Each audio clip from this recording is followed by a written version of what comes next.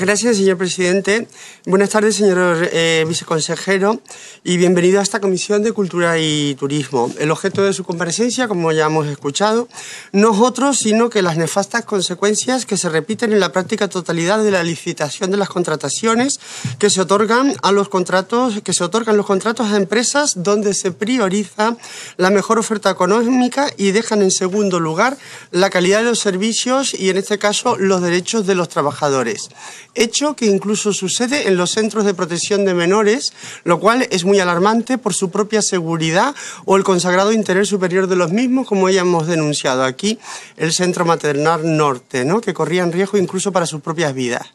En este caso, con las empresas de seguridad, que es el tema que nos trae, se los están concediendo como ya se ha hablado, por el factor precio a las denominadas eh, por los sindicatos como empresas piratas, que se descuelgan del convenio colectivo estatal, acogiéndose a su reforma laboral, a la del Partido Popular, que ha dejado en situación absolutamente precaria a los trabajadores. Y no nos engañemos, señor viceconsejero, a ustedes les viene muy bien, porque dan los contratos a la baja, con precios muy bajos, y así ustedes ahorran, y ya al final todo se convierte en una cuestión de precios de dinero, económica, y van quedando por el camino demasiados cadáveres. Lo que no se explica, o sí,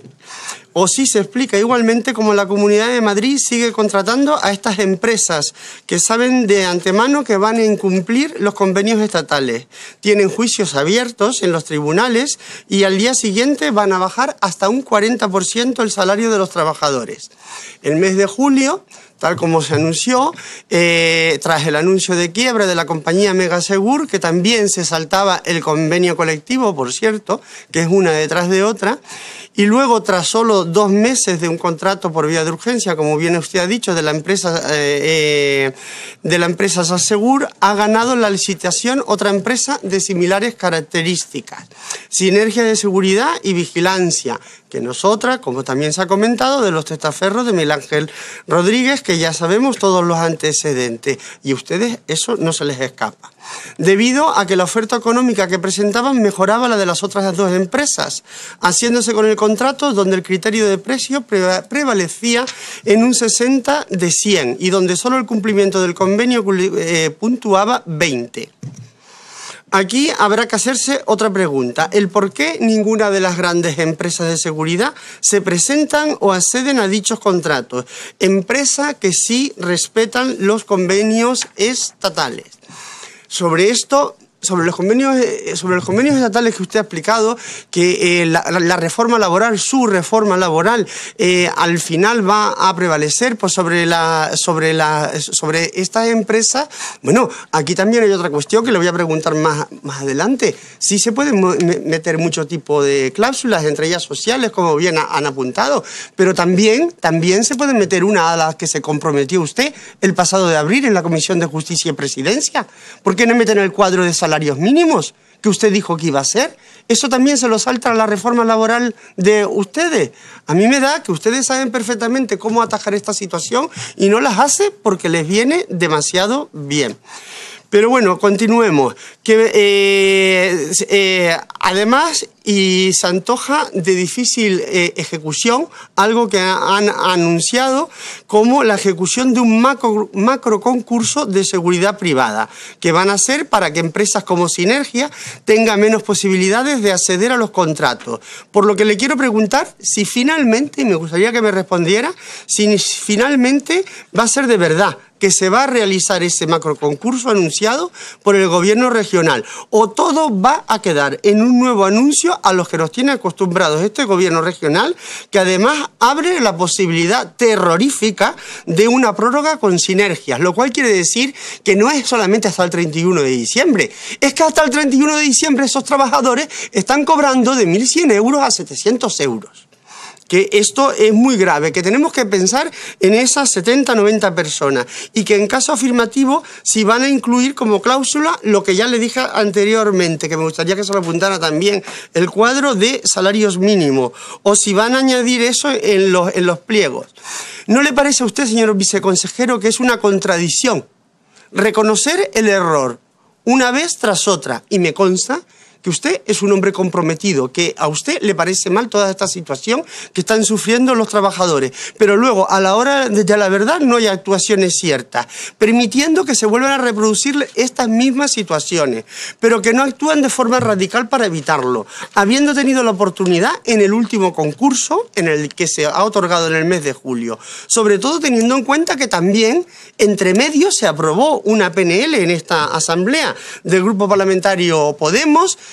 eh, votada a favor por el Grupo Parlamentario Socialista, por el Grupo Parlamentario Ciudadano y donde ustedes se abstuvieron, aunque vuestras abstenciones de verdad a veces no, nos dan miedo, como con la Ley Integral de Transexualidad, para la obligación de que estuviera incluido en el pliego de condiciones en las contrataciones que se cumpliera, que se cumpliera el convenio estatal de seguridad privada. Pero vayamos al aquí y a la hora. Y el aquí y el ahora es que hay un gran problema encima de la mesa. Y es que Sinergias tiene contrato hasta el 31 de diciembre. Largos meses, largos meses para todas estas familias. Y que nada más hacerse con él, de la noche a la mañana, de golpe y porrazo, se salta el convenio estatal. Ha aplicado el suyo y les ha bajado el salario a los trabajadores ni más ni menos que el 40, de 1.100 a 700 euros. han dado ustedes pie a que surjan todas estas empresas que además eh, eh, formen unos nuevos sindicatos que no se saben de dónde vienen para crear su propio convenio, para crear su propio convenio para poderlo aplicar. Empresa fantasma y sindicatos fantasma, acogidos a la sombra de una terrorífica reforma laboral como fue la del Partido Popular. La insensibilidad, de verdad, señor viceconsejero, de este gobierno regional con los trabajadores y las familias causa cuanto menos estupor cuestión que ya pudimos contemplar en el pleno del jueves pasado, con los trabajadores de las residencias de mayores, que mientras ellos protestaban en la grada de invitados, se oyó en un micrófono abierto de la presidenta de la Cámara llamarlos despectivamente el lobby sindicalista. Y para rematarlo, el consejero de Políticas Sociales y Familias, cuando continuó su intervención, reafirmó su desprecio hacia ellos con la frase ladran, luego cabalgamos, ante la ovación de la bancada popular, y que por cierto no es de Cervantes, tal como afirmó el señor Izquierdo, sino que en su origen de un poema de Goethe de 1908, ya que ni Cervantes lo dijo ni en el Quijote aparece. Mientras el gobierno regional contempla de forma impasible sin dar con la solución, ni tampoco presiona a Sinergias para que modifique su convenio y respete el estatal, y en caso de no hacerlo, porque además pueden no hacerlo, que ustedes en extremis deberían de revisar que dicho contrato cumpla en todos sus términos y punto por punto, y si no, actuar en,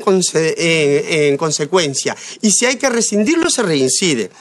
Eh, porque, señor viceconsejero, no se trata de lobbies ni de algo etéreo. Estamos hablando de personas y familias que en muchos de los casos están en situaciones muy extremas, agobiadas, además de la calidad de la seguridad y la seguridad en sí misma de los centros dependientes de las oficinas de cultura y turismo de la Comunidad de Madrid, como pueden ser la Biblioteca Regional de Madrid, Joaquín Leguina, la Casa Museo Lope de Vega o el Museo de la Casa Natal de Cervantes en Alcalá de Henares. Sí, Cervantes, el que nombré anteriormente, que nunca escribió Ladran, luego cabalgamos, por mucho que el señor consejero Carlos Izquierdo se empeñe y que, por cierto, los trabajadores no ladran, solo están reclamando un salario digno y justo para poder vivir su vida. Muchas gracias. Es lo que estamos trabajando. Y en cuanto al contrato centralizado, nosotros también,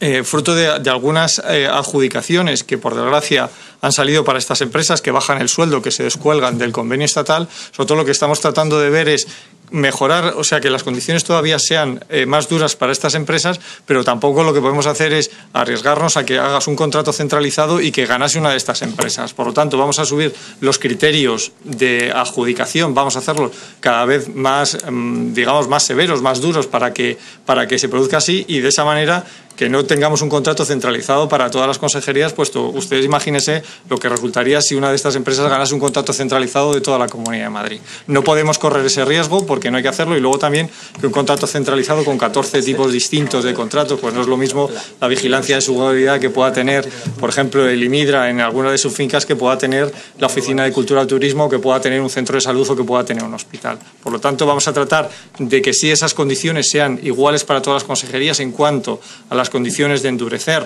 eh, los criterios de adjudicación para que estas empresas que se juegan en convenio no resulten adjudicatarias y, nosotros de esa manera pues eh, que luego cada consejería vaya sacando su contrato y ahí pues tratamos de porque todas las consejerías sí que es cierto que nos habíamos movido en, en, el sentido de que todos los contratos concluyesen el 31 de diciembre de 2016 para iniciar el contrato centralizado, pero realmente, y fruto de lo que estamos viendo, yo creo que ese riesgo no lo podemos correr.